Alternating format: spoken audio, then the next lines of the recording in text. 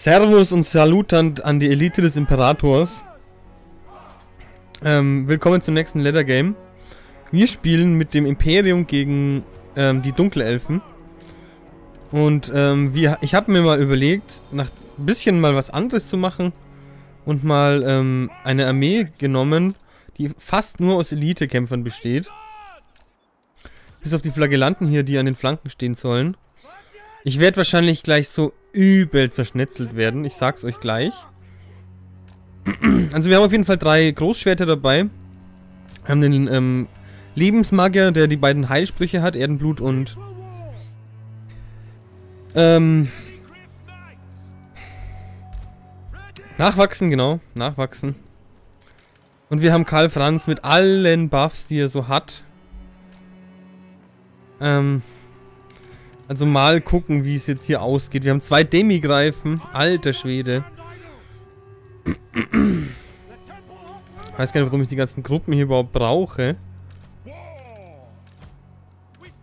Mein Mikrointensiv wird es wahrscheinlich nicht werden. Aber mal gucken.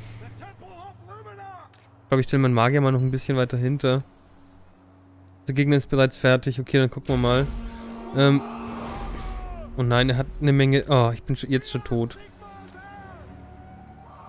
Schwarze Reiter, schwarze Reiter. Schreckenspeere, Düsterschwerter, Düsterschwerter, Düsterschwerter. Und zwei Henker von Haganeth. Oh Mann. Und Dunkeldornen. Die Dunkeldornen sind jetzt das größte Problem. Weil ich, ich kann nichts gegen die machen. Nein, Feuer, Feuern ausschalten, verdammt. Dummes Schwein. Ja, ich meine, das Einzige, was ich jetzt machen kann, ist halt eine Flagellanten vielleicht vorschicken? Nee. Einfach mal mit der Infanterie jetzt komplett vorrücken.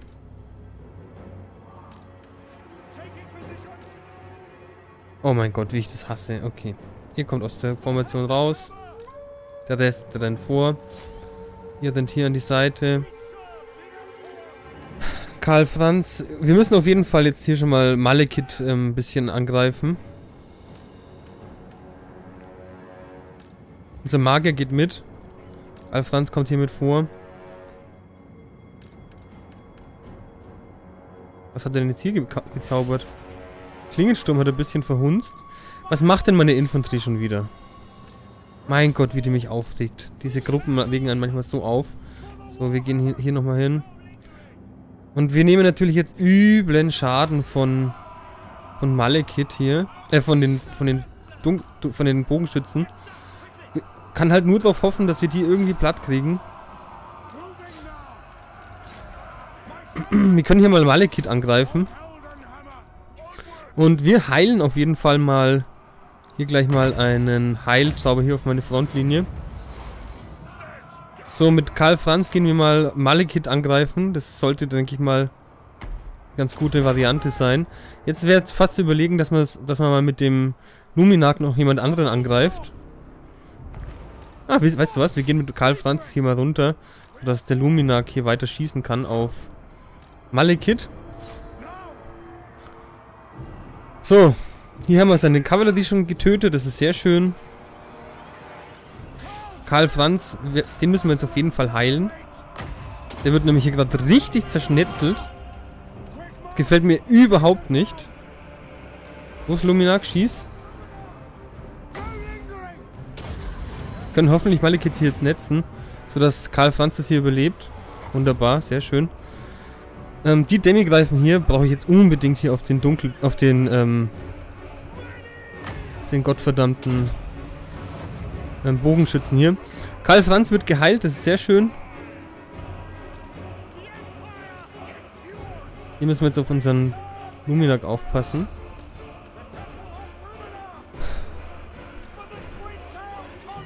Hoffentlich können wir ihn hier mal ein bisschen töten.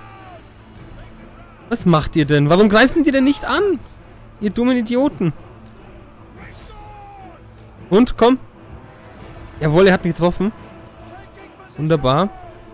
Wir müssen weiter abhauen. Wir können auch mal in die, in die Bogenschützen hier reinfliegen, reinfahren. Hier können unsere kämpfenden, nicht kämpfenden Truppen mal ähm, seine Bogenschützen angreifen. Und die Demi-Greifen können jetzt hier auch weiter, weiter kämpfen, auf jeden Fall. So, wo ist Malekith? Ein, ein Schuss noch auf ihn abgeben. Hoffentlich kriegen wir das noch hin. Ähm, ein Problem sind seine seine Henker hier. Und? Jawohl! Der Luminak hat, hat performt. Sehr schön.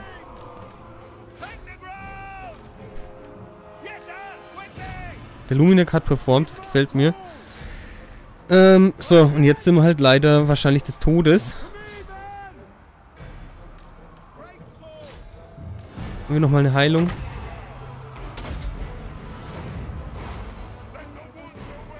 Lumina kommt mal hier hinten raus.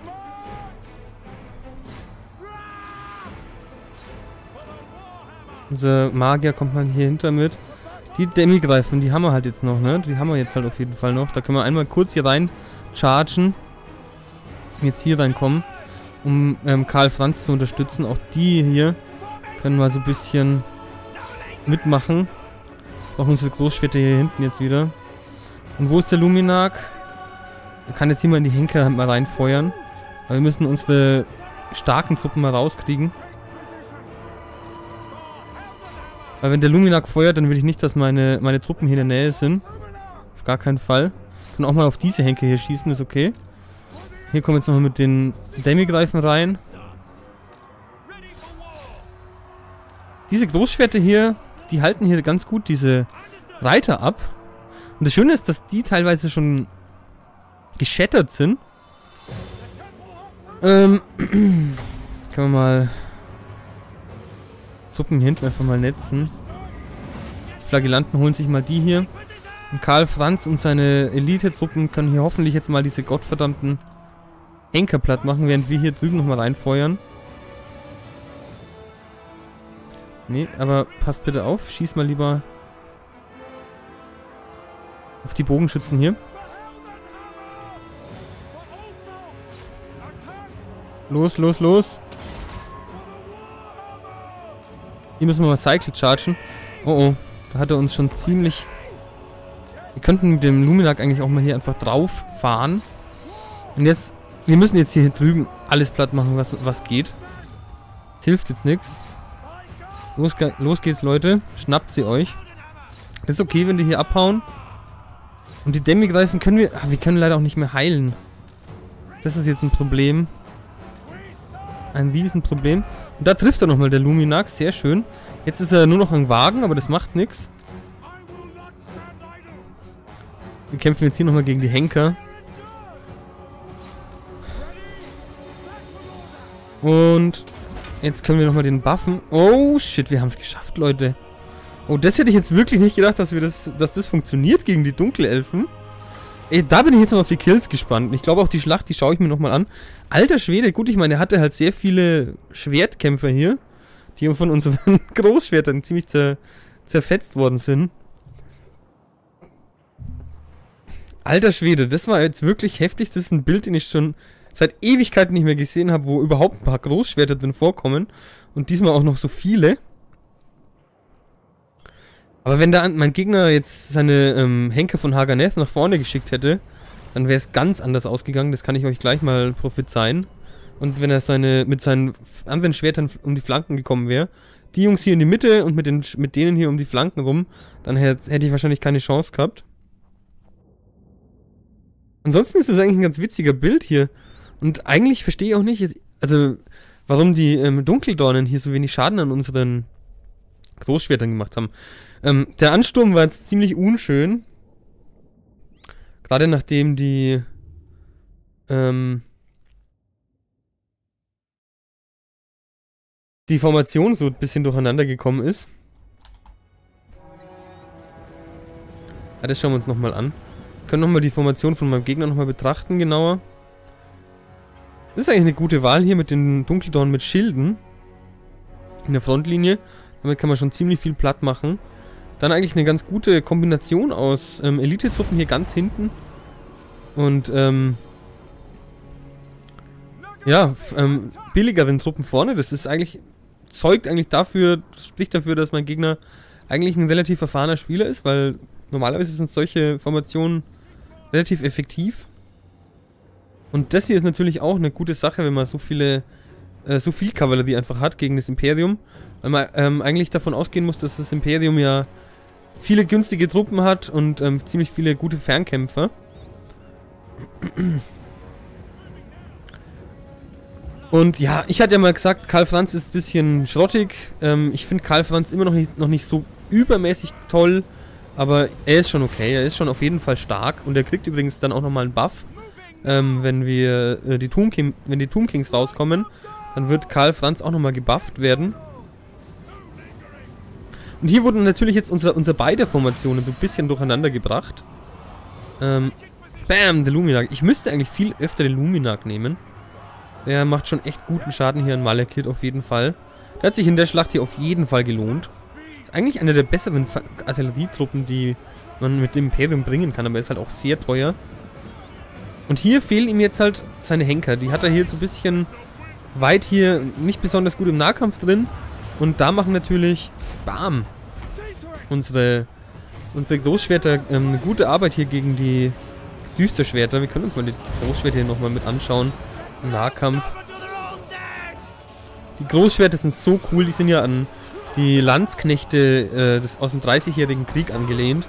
So vom Aussehen her. Das finde ich so cool einfach. Warum habe ich denn eigentlich hier nicht das Feuer ähm, aus, ausgestellt? Ich habe doch eigentlich dem gesagt, dass er ähm, dass er Feuer einstellen soll, oder? Naja, egal. Die Munition hat ja trotzdem noch gereicht. Das war ja dann okay. Und hier haben wir natürlich jetzt halt ganz schön üblen Schaden bekommen von den ähm, Pfeilen als auch von Malekith. Weil Karl Franz einfach nicht die besten defensiven Stats hat. Der Typ ist einfach nur ein ziemlich übler, ähm, ja, Damage-Dealer. Ähm, von daher ähm, war gut, dass wir Nachwachsen dabei ha hatten. Sollte man immer haben, wenn man Malekith, äh, wenn man, wenn man Karl Franz bringt weil der ohne Nachwachsen einfach viel zu, viel zu empfindlich ist. Und da kommt der nächste Sch Schuss auf ähm, Malekith. Und er trifft auch noch. Macht guten, guten Schaden. Wunderbar. Malekith ist schon fast tot. Nur noch bei 700, bei 700 HP. Und hier sehen wir schon da, wo die Henker von Haganeth sind, zusammen mit Malekith. Da werden die Großschwerter natürlich richtig fertig gemacht. Die Großschwerter kriegen übrigens auch einen Buff. Die kriegen mehr Bonus gegen Infanterie, glaube ich. Und kriegen noch mehr Geschwindigkeit wieder, die kriegen ein bisschen mehr Geschwindigkeit zurück. Das heißt, die sind jetzt nicht mehr ganz so lahm. Jetzt haben sie jetzt 27, das ist langsamer als die meisten Zwerge. Schon übel. Oder so langsam oder langsamer als viele Zwerge. Sagen wir es mal so. Und Karl Franz, ich meine, mit seinem massiven rüstungsdurchdringenden Schaden kann er natürlich auch gut was gegen diese ähm, Henker hier machen, aber da muss man wirklich aufpassen, wenn man den hier in, dieser, in diesem Blob aus Henkern hat. Das ist eigentlich nicht so toll. Ich hätte echt nicht gedacht, dass die Armee jetzt funktioniert, ohne Scheiß. Hätte ich jetzt wirklich nicht gedacht. Aber Karl Franz rockt hier richtig. Die elitäre, die Elite in, ähm, in Imperiumsinfanterie, cool. Ja, aber die Großschwerter brauchen definitiv einen Buff, auf jeden Fall. Ähm, die sind so schwach momentan, das... Für den Preis vor allem. Also die sind viel zu teuer, auf jeden Fall. Aber der Luminak, der hat sich richtig rentiert. Auf jeden Fall, aber wenn ihr den Luminak bringen wollt, dann würde ich euch wirklich anraten, immer den, ähm, von, den Luminak von Hisch zu nehmen.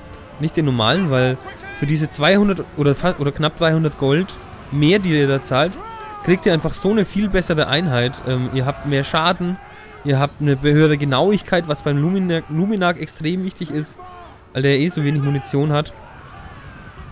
Und ähm, ihr habt auch noch das Netz und Allein, das, allein für das Netz würde ich fast mehr zahlen. Ähm, das Netz wird übrigens jetzt auch übelst geändert. Das kriegt jetzt... Kann es euch mal erklären, falls ihr die Patch, Patch Notes noch nicht gelesen habt. Ähm, das Netz ist jetzt... Ähm, also das Netz von Amintok ist jetzt eine Fähigkeit, die nur noch eine einzelne Einheit betrifft. Also nicht mehr diesen AOE-Effekt hat. Außer man ähm, overcastet ist. Wenn man es overcastet, dann kriegt es weiterhin diesen AOE-Effekt, aber es ähm, kriegt nicht äh, noch eine erhöhte ähm, Effektdauer. Also die Effektdauer bleibt jetzt gleich. Ähm, find, mal gucken, wie das, wie das dann reingebalanced wird. Ähm, ich fände es cool, wenn die, wenn die Mana-Kosten für das, ähm, nicht overcastete Netz dann aber auch ein bisschen gesenkt werden, dann fände ich es cool. Dann fände ich es eigentlich auch fast, naja, fände ich es eigentlich fast noch, also fände ich es eine bessere, bessere Lösung für allgemein für diesen Zauber.